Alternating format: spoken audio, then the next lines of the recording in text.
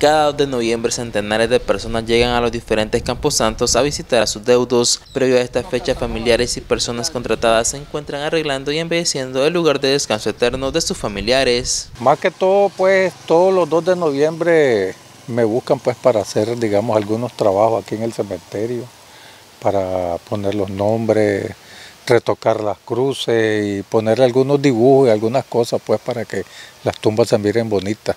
Ahorita lo que estamos haciendo es cuadrándolas porque están todas descuadradas las bóvedas.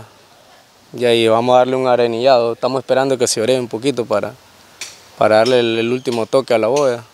¿Ya para que esté de noviembre bonitas? Sí, y ahí después los familiares yo creo que después la van a venir a pintar.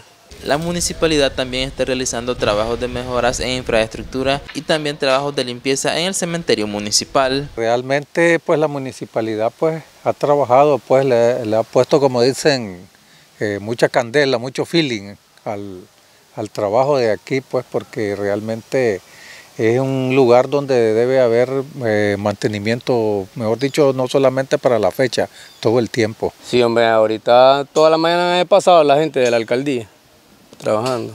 Casualmente ahí en la salida, ahí están unos soldadores ahí, ahí están trabajando también.